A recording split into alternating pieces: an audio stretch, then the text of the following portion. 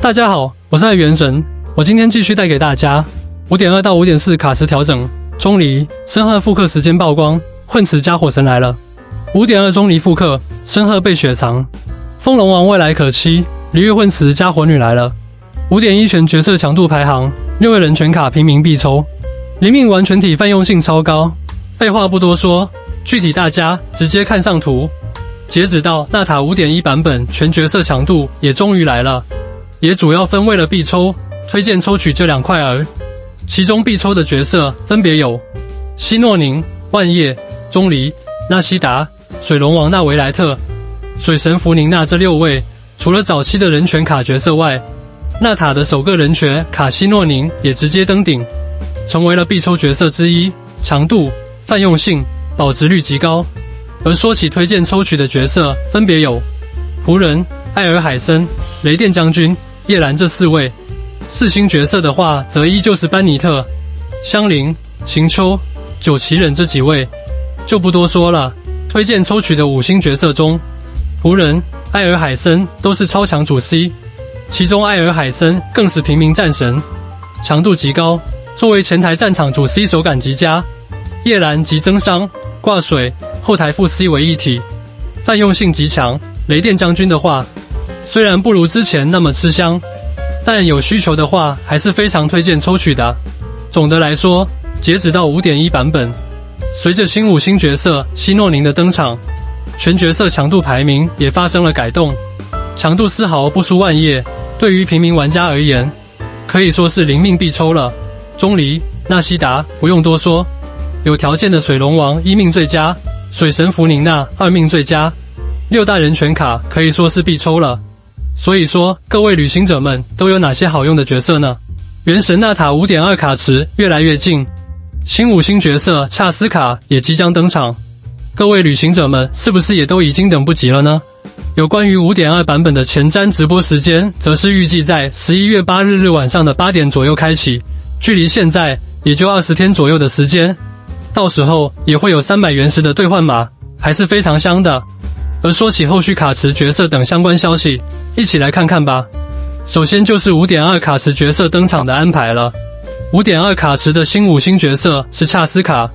新四星角色是欧洛伦，也就意味着会有三位五星角色复刻，其中钟离基本上可以说是确定复刻的，其他两位复刻角色目前版本也比较多。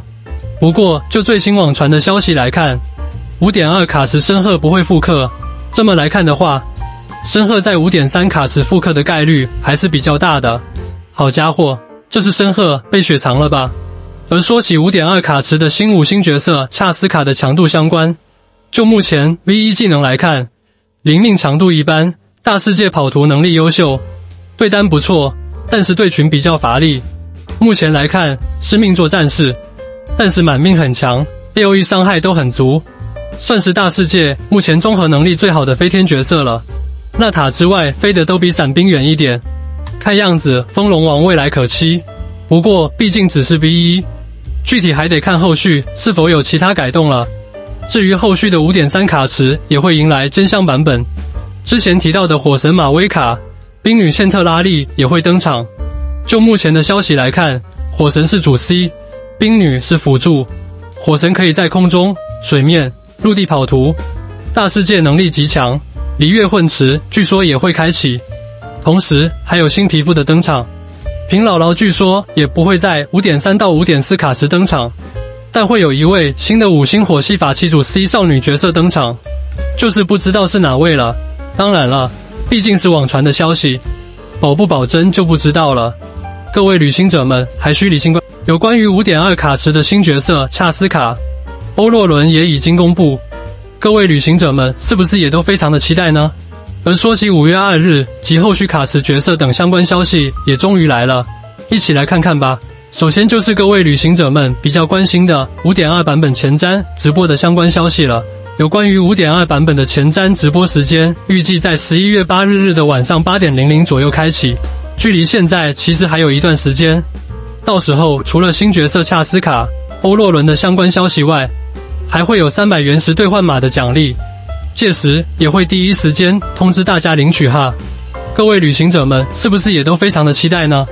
而说起五月二日卡池复刻角色的安排，目前就网传的最新消息来看，貌似只确定了钟离会复刻，还有两位五星角色是谁复刻暂时未知。不过提及长期未复刻的冰系五星角色申鹤，就目前的相关消息来看，申鹤据说不会在五月二日卡池复刻。这么来看的话，申鹤五点三卡池复刻的概率还是比较大的。加上五点三又是海灯节版本，可能性还是比较高的。至于五点三卡池新角色登场的安排，目前说法最多的依旧是火神马威卡和冰女千特拉利。同时，海灯节版本还会有角色新皮肤的上线。据说第二期混池也会在五点三开启。而之前提到的平姥姥，据说五点三减五点四卡池都不会登场。这么来看的话，平姥姥大概率是延期了。当然了。版本跨度大，保不保真就不知道了。各位旅行者们，还需理性观。